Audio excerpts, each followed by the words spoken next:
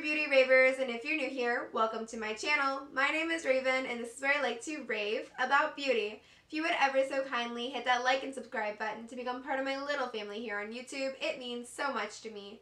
Now without further ado, let's jump on into the video. Hi guys, today we are decluttering my primers, foundations, and concealers. And I have them all in this box right here. So how I want to do this is I want to guess how many of each category I have and then I will count them and tell you how many I actually have and then I will set a goal for how many I would like to declutter and then we'll do the actual decluttering process. I honestly haven't counted anything in my entire makeup collection in well over a year, going on two years now, so this is kind of fun for me as well. So my guess for face primers, because I'm going to do face and eye primers separately, um, my guess for face primers, I know I have quite a few, but I honestly don't know how many. So I'm gonna say I have 10 face primers.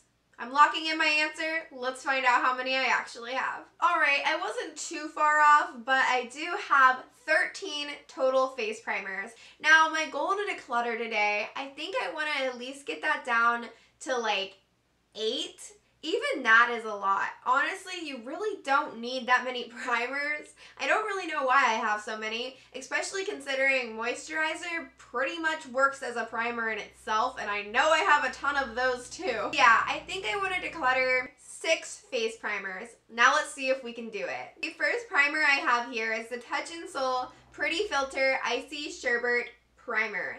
Is it gonna focus?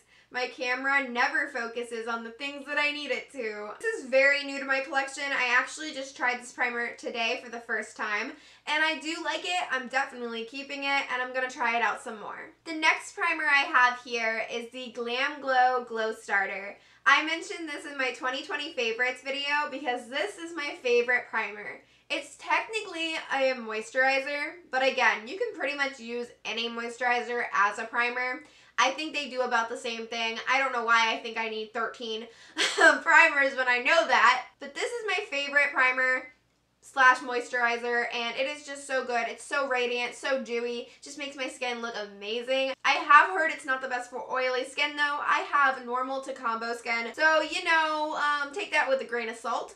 Uh, but I think this is an amazing primer. I'm definitely keeping it. I actually have this little mini of it and it's almost gone.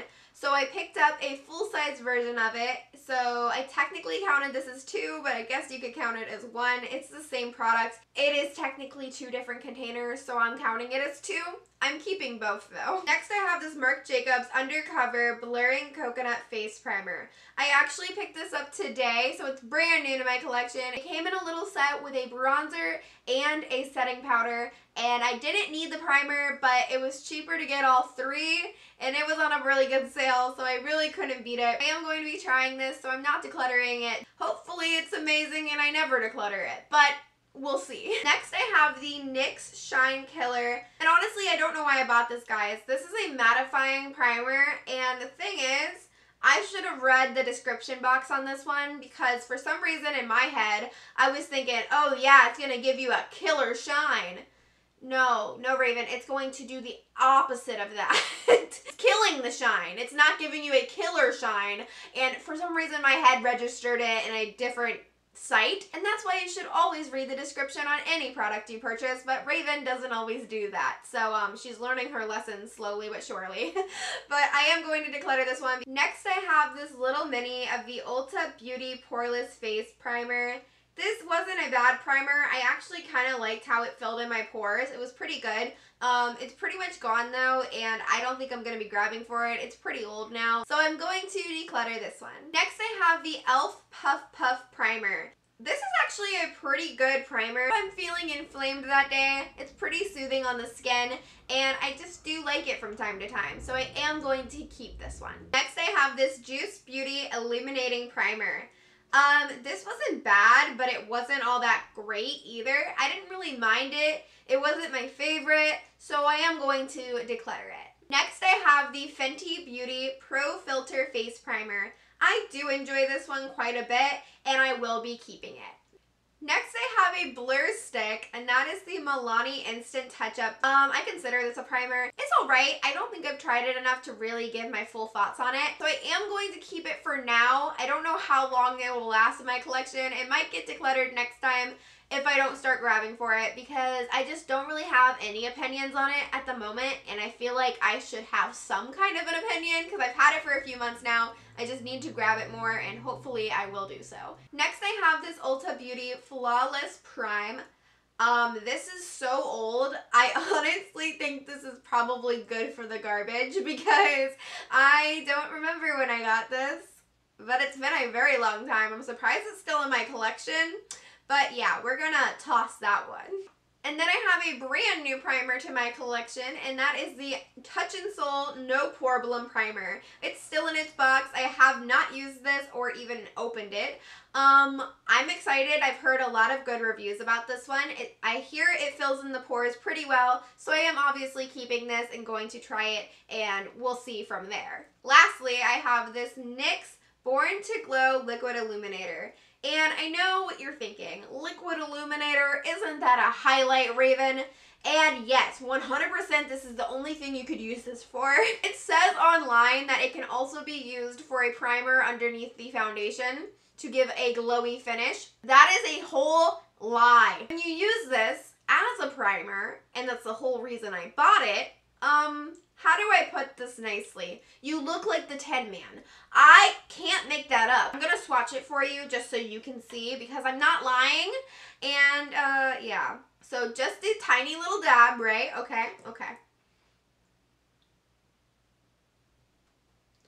You're telling me that this can go under foundation with no problem.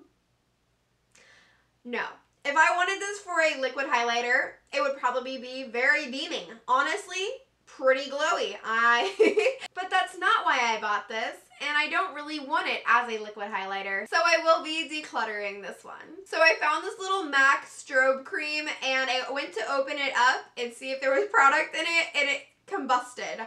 So I'm going to let this one go as well. This I didn't count in the original count because I didn't see it until right now. But yeah, we're to let that go because that's a mess.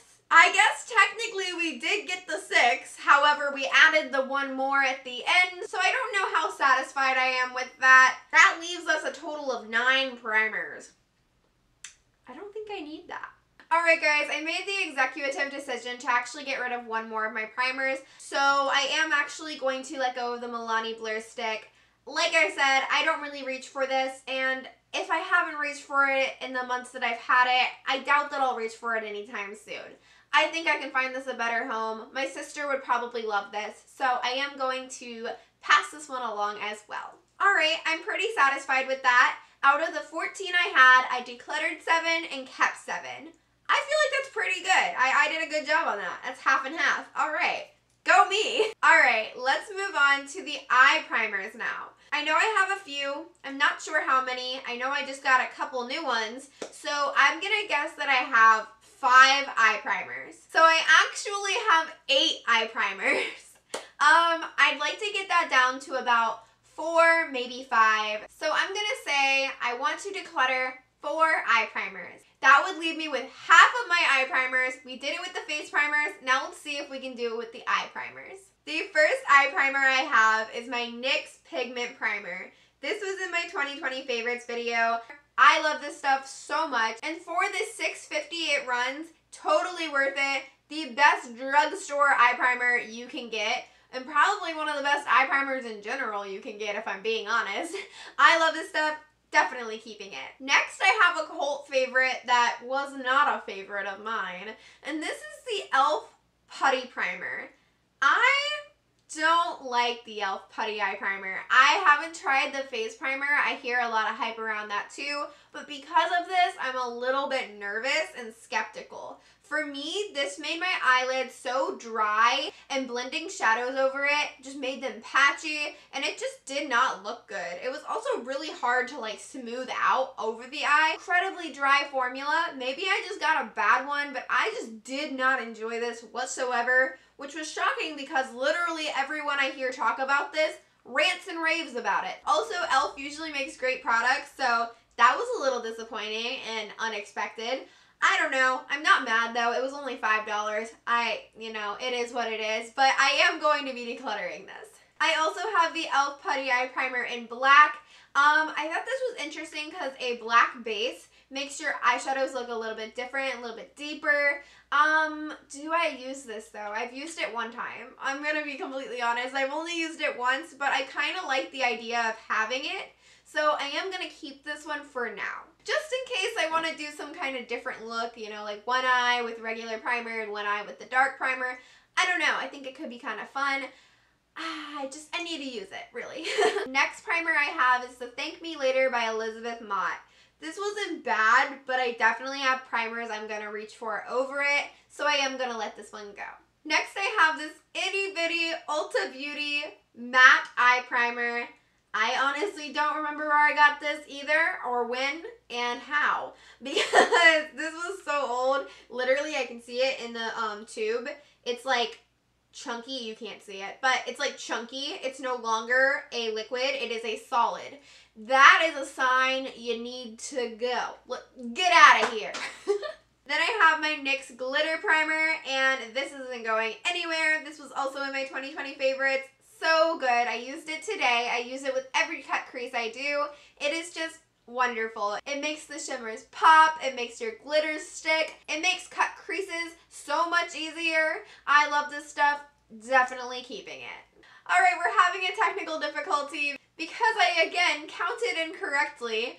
I'm missing my Fenty one. Let me go and try and find that because I know I have it. Alright guys, I apologize for that. I do have my Fenty Beauty Pro Filter Eye Primer as well. This is what I have on my eyes today, so I was like, where did it go? Um, this is really good. I like this. I'm keeping it. Next, I have this Hard Candy Long Wear Eye Primer, and I've had this for a while. Honestly, I don't know. I'm surprised there's like still product in this, but it's definitely not good anymore, and I'm definitely decluttering it. Next, I have my Model Rock Eye Elixir, and this I really enjoy as well. I recently just got this one, and I'm still trying it out, but I have been enjoying it, and I am going to keep it. So because I counted wrong, I actually started with nine, and now I have five. I'm pretty happy with that. I did declutter the four that I wanted to. Now let's go on to foundations. So far, I feel like I'm doing pretty well with the decluttering process. Let's hope we can keep this up with the foundations. So for foundation, I know I have a few. I don't think I have too, too many, but I know I have some that I don't use and can definitely declutter. So I think I'm going to guess that I have six foundations. Let's see how many I actually have. Wow, I was way off. I almost have double what I thought I have. I actually have 11. Okay, let's get this condensed. The first one I have here is one of my favorite foundations. This is the Juvia's Place Shade Stick. It's what I have on my face today. I love this foundation so much. It's so dewy, so radiant, so beautiful. I rant and rave about it all the time. If you're not new here, you probably have already heard the whole spiel, but of course I'm gonna do it again. This was mentioned in my 2020 favorites as well. I'm not getting rid of this. It's going absolutely nowhere. I'm keeping it forever, or at least until it's gone, and then I'm repurchasing it because I absolutely adore it. Next, I have a foundation that I do not absolutely adore. In fact, I don't like it very much at all. And that is the Too Faced Born This Way foundation. I have this one in porcelain.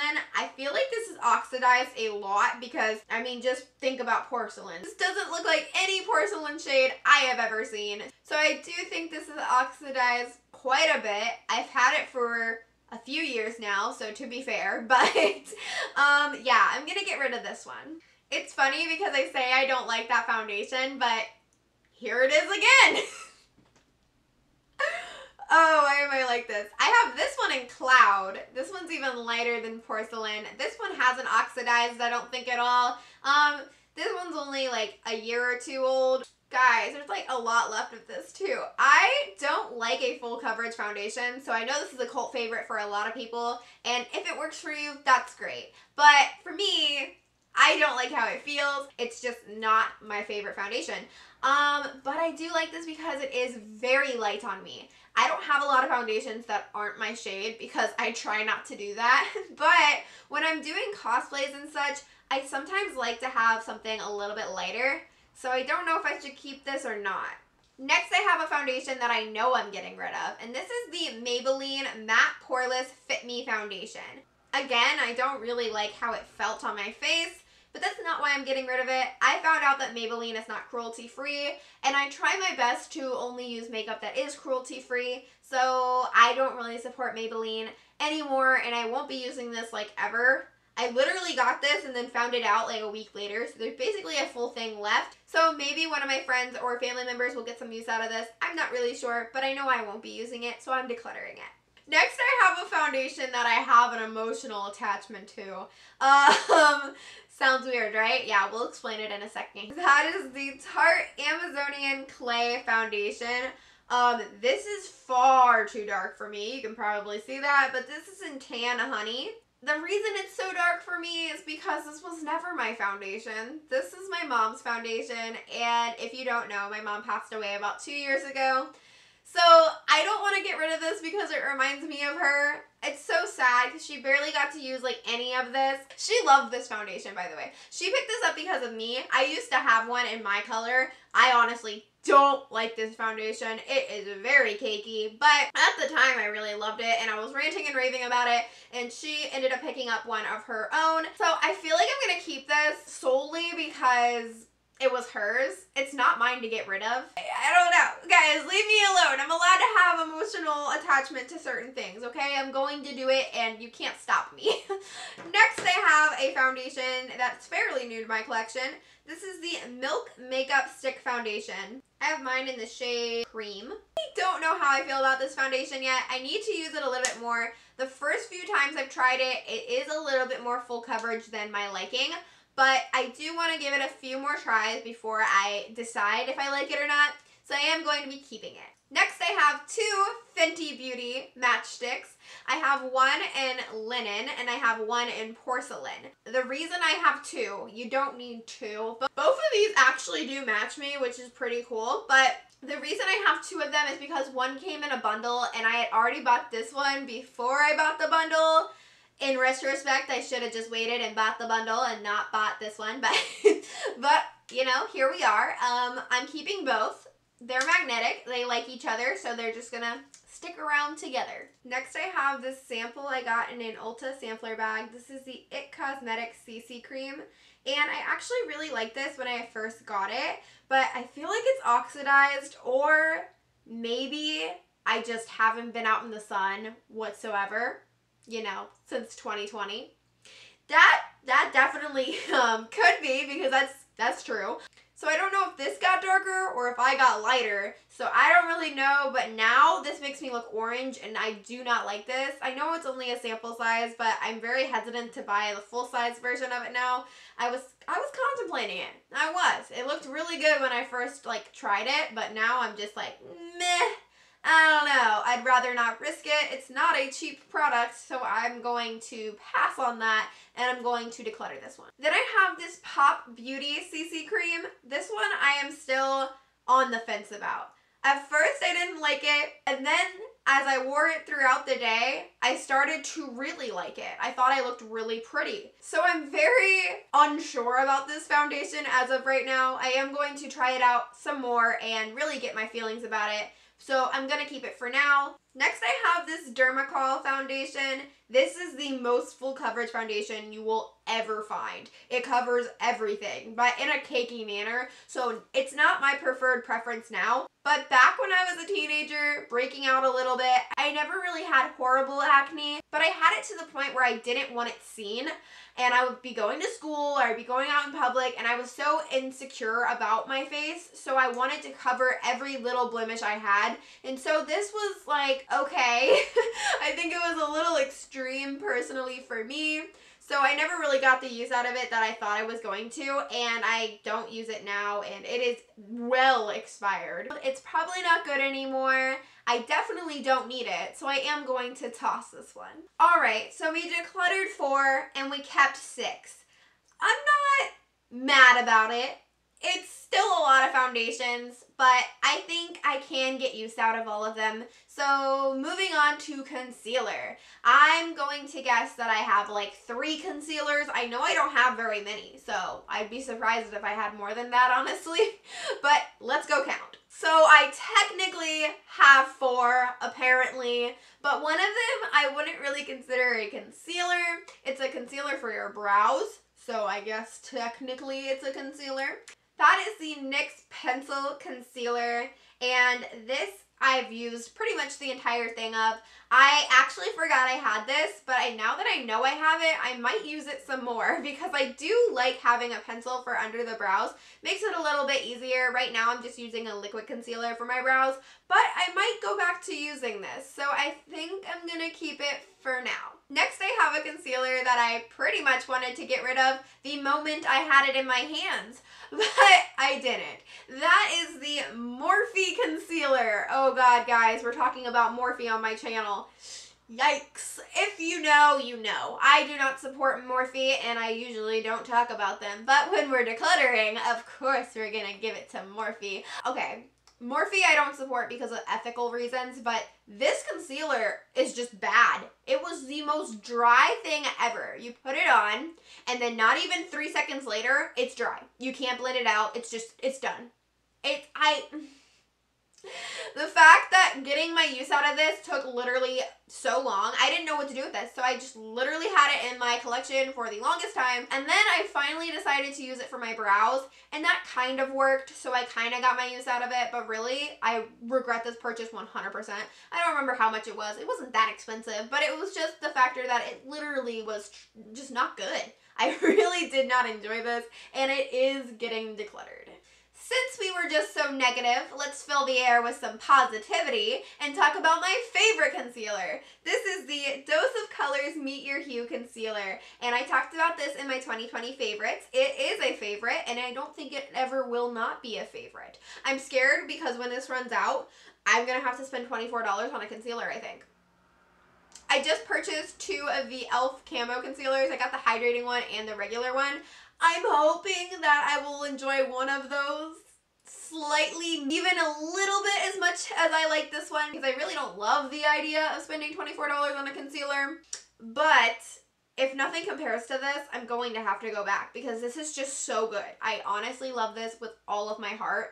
And more than likely, I will be repurchasing it because I doubt any concealer can hold up to it. I'm sorry. It's just, it's the truth. But hopefully they'll be somewhat decent until I can wrangle up my change so that way I can grab another one of these because this is just so good. But this is definitely not going anywhere. I love it to pieces. Lastly, I have this Pretty Vulgar concealer. This is far too dark. I think you guys can see that. Um, I'm a ghost and this is not. This is in the shade, the middle ground. It's probably like a middle shade or something. Um, it's not my shade, that's for sure. I wanted to use this, but it's just, I can't. It's too dark, okay? Like, that's the bottom line. I can't tell you if it's good. I can't tell you if it's bad because I've never used it. It's just too dark. But I have heard good things about Pretty Vulgar, so hopefully I can find somebody who this does suit better and maybe they'll love it. Who knows? Did I set a goal for how many I wanted to declutter? Oh no, who even am I? Okay, well, I didn't really have a goal on that one because concealer is something that I probably could use a few more of just because backups, you know? But anyway, I kept two and I decluttered two. So I'm pretty happy with that. That's pretty good for me. I think that's pretty good. I feel like that was a really long video and I apologize, but I hope we had some fun today. And I also hope you have a wonderful day and stay beautiful. Mwah.